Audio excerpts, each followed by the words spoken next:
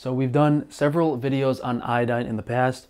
One more recently showing you guys a nasal oral flush that can prevent you from getting sick. And the two older videos, one was iodine in general, and the second was about halogen toxicity, expanding on everything you really need to know about iodine. Today, we're going to brush up on those two older videos, starting with number one, main reason you need iodine is because the government pollutes our water supply with two of them and allows another one to be used in food production. And by one, I mean this family of elements called halogens fluorine, bromine, chlorine, iodine, astatine, and tennessine. And those latter two aren't important today, but the government puts fluoride and chlorine in our water, and bromine is very common in our food.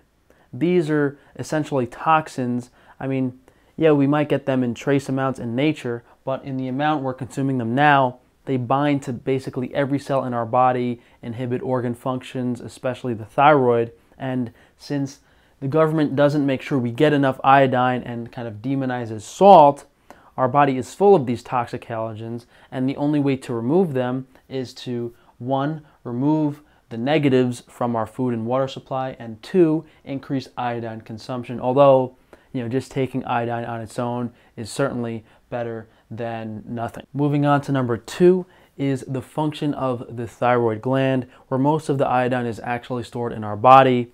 Thyroid hormones T3 and T4 help us produce energy, regulate our body's temperature in our adult lives, but as children, they even play a role in our normal growth and development.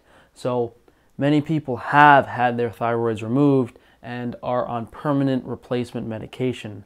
But those people are a good reference for the extreme symptoms you can suffer without a properly functioning thyroid, illustrating how important the organ is. And when these toxic halogens accumulate to a certain point, that is when your thyroid fails. So it's probably very specific to certain areas where the water is especially bad, but it is reversible if you haven't had the gland cut out yet. Uh, so remove the fluoride, bromine, chlorine from the lifestyle and take iodine. Uh, I mean, I think I did a whole video on organs that doctors commonly remove and how to remedy it. Uh, we do have a thyroid glandular on organsupplements.com, which is actually the same thing you will get prescribed from a doctor, except what we have is, you know, 100% grass-fed, high quality, and natural. And I know a lot of you guys are taking this as your thyroid medication. So please let me know how that is going. Number three is prevention of disease.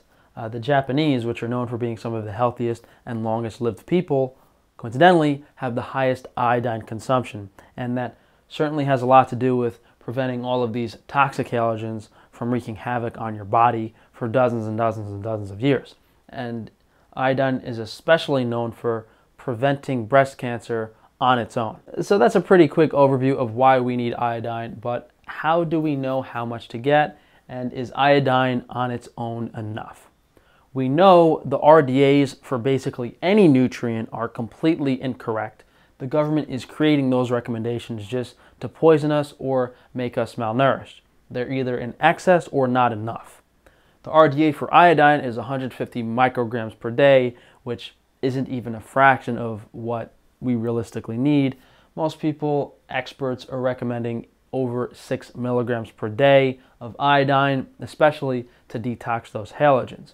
What's also important for detoxing those halogens is consuming enough salt, something the government has also made us afraid of, and by poisoning us with mercury through dental fillings, ocean pollution, our selenium intake is greatly inhibited, selenium being the most important synergistic element with iodine. If we're talking about making sure we're getting every vitamin, mineral, element, fatty acid our bodies need, these two are typically overlooked, selenium and iodine. So if you haven't been taking these frequently or you've never taken them, you need to take some steps to incorporate them into your diet.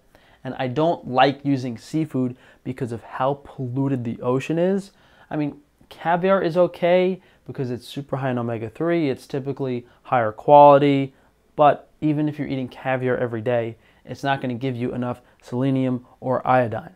So I use an iodine supplement on a daily basis, and a selenium supplement maybe once a week, several times per month. And by all means, I would encourage you guys, you know, look up the highest selenium foods. I don't know, Brazil nuts. Try to get um, iodine through food if you like to, but see how you feel doing that. And if you're not noticing a difference, then maybe try a supplement and do like a, a control group. And I have sea salt written here, but what I really mean is uh, you just want a high quality natural salt, preferably a land salt because we did mention that ocean pollution. But you absolutely do not want table salt. And a salt playing a main role in giving these negative halogens something to bind to as they leave the body. So it's kind of crazy how you know the government says everything is okay, and in reality, it's this like elaborate scheme to poison the American population. So thank you guys for joining me. Hopefully this helps some of you guys out. The main takeaway for me is you know, make sure to consistently take iodine and selenium. So if you guys could please drop a like on the video, leave a comment down below, subscribe so that YouTube can unsubscribe you next week, and be sure to check that notification bell so they don't notify you of my videos. Therefore, you can go to frank-tufano.com, see all of my businesses, including organ supplements, where we have a bunch of cool things that you guys might want to try out. Thanks again, guys, and I'll see you for tomorrow.